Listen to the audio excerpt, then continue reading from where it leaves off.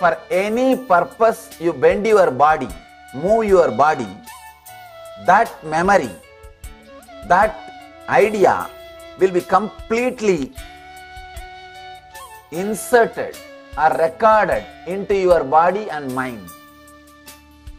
Understand? It is very shocking revelation. The way in which you bend, the method in which you sta- uh, stand up, or the method in which you do yoga, the method in which you do asana, all these things are not too important. If you have an intention to have health and do whatever you want for that intention, move your body anyway for that intention, simply health will happen to you.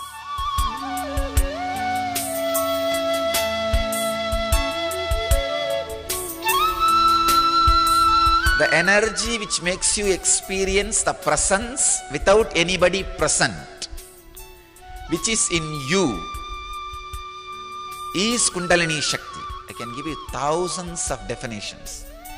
Inner potential energy, roughly equate what you call as junk DNA or mitochondria cell energy.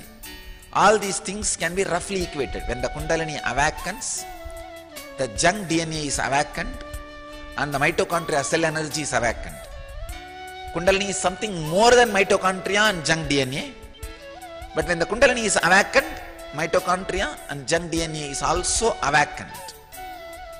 What scientists call as junk DNA, but I wanted to call as divine DNA.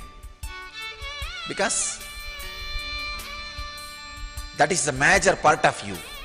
Major part of you when it is awakened makes you feel the presence pure presence without anybody present